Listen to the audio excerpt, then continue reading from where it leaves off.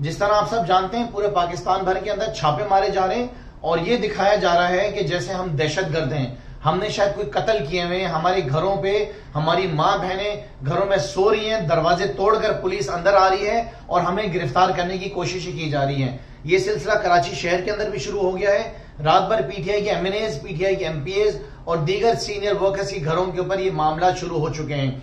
हम जानते हैं इम्पोर्टेड हुकूमत और क्या कर सकती है, इनकी औकात की है, इनकी हैसियत की है, इन्होंने यही करना है। लेकिन इनको मैं सिर्फ़ ये पैगाम देना चाहता हूँ कि इतना करें जितना ये बाद में बर्दाश्त कर सकें। ये वक्त गुजर जाएगा, याद रखना, आने वाला वक्त पाकिस्तान तहरीक इंसाफ का है। और ये भी मैं आपको बता दूँ कि ये सिर्फ़ पाकिस्तान तहरीक इंसाफ के वर्कर्स नहीं है, करोड़ों की तादाद में इस वक्त पाकिस्तान में लोग हैं, जो कि इमरान खान के साथ खड़े हुए हैं। और एक आखिर में बात और कि इमरान खान की तरफ़ जाने की कोशिश ना करना। अगर इमरान खान को कोई नुकसान हुआ तो ये याद रखना कि लाखों लोग यहाँ पे अपनी जान देने को तैयार हैं, उस तरफ़ ना जाना।